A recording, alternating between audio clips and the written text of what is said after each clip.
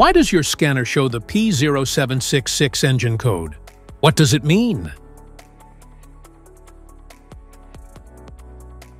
P0766 is a diagnostic trouble code for shift solenoid D performance or stuck off.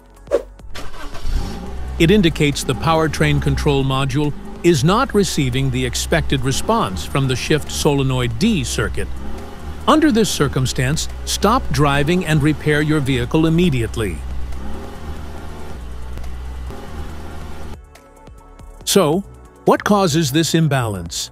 Here are the most common culprits.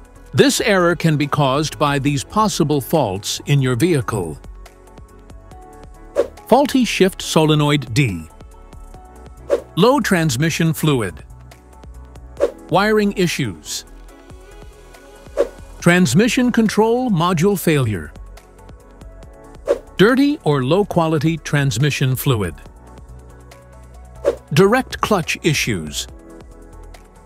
Other transmission issues. Each DTC code corresponds to a specific issue in your vehicle.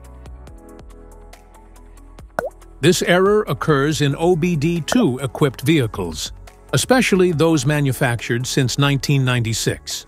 It is commonly found in Ford, Honda, and Toyota.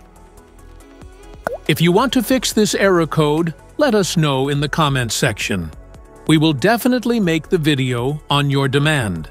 If you like this video, don't forget to subscribe to our channel. Thanks for watching.